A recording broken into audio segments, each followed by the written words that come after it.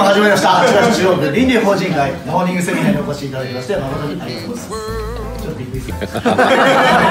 えー本日は自主企画ということでですね豆腐屋青さん皆さんにということですがあの私にというようにですねまな資格を、えー取らせていただいてます。しかしそれは何のためにありありますか？私は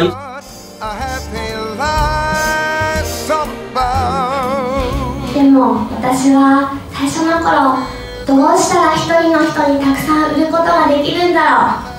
この中にいっぱいか買わせるにはどうしたらいいんだろう。